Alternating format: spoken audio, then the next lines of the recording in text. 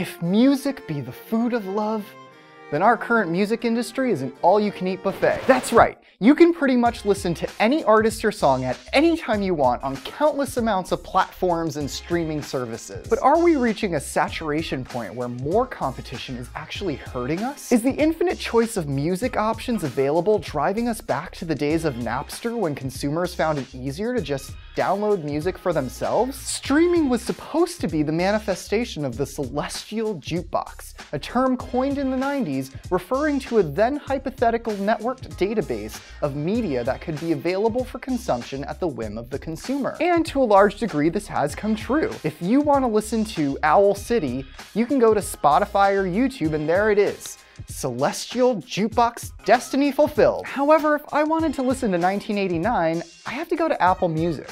And if I want to listen to The Life of Pablo, I have to subscribe to Tidal. And while this creates a healthy market of competition, it creates a huge hassle for me when I'm trying to make a playlist for my bay.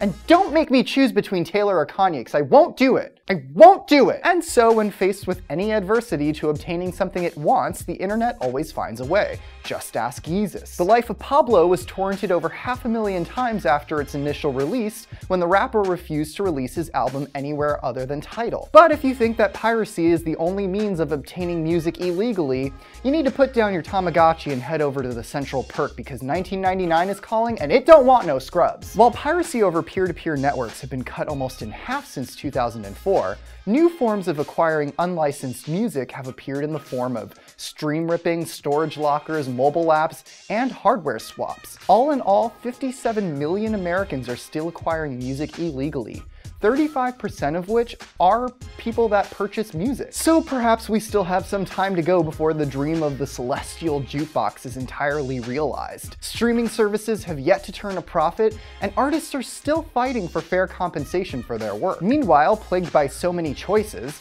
it seems like consumers will need less options before they can commit to a service they like. Not to mention, people will always want free stuff leaving us to wonder how much do we value music when it's so easy to obtain for free? Hey, thanks for watching. Make sure to leave a comment below and let us know what you thought of the episode and what you'd like us to explain next. Also, make sure to like and subscribe to this channel because it's awesome. That's it. Go listen to music now.